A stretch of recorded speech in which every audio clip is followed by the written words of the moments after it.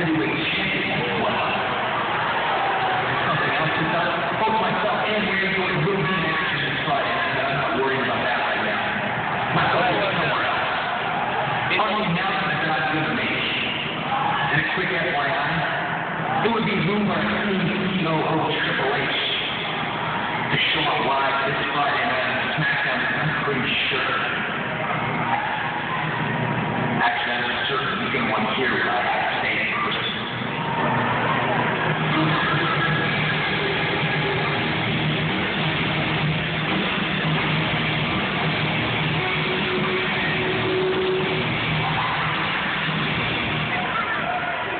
Welcome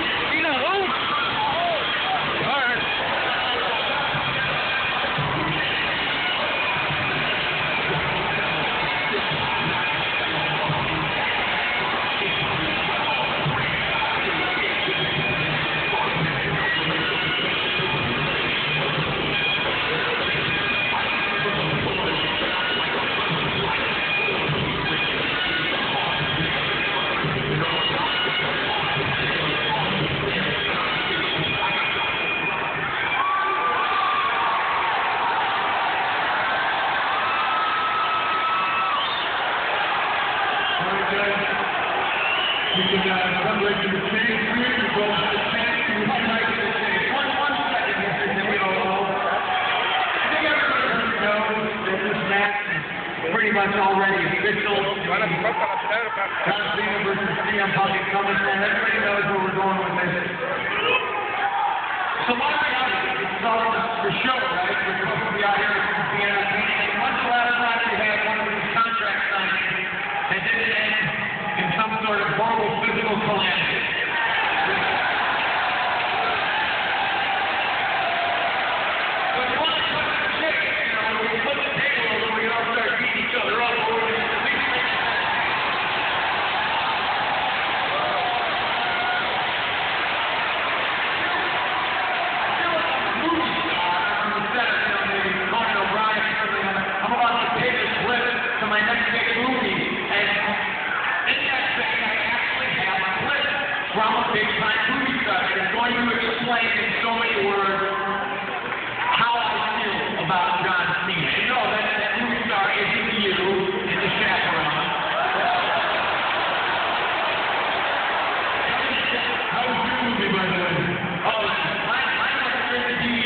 like yours.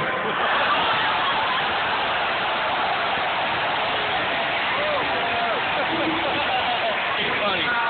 Going to explain how I feel, about you.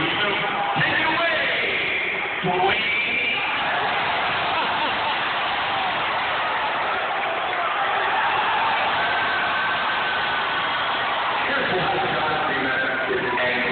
It's a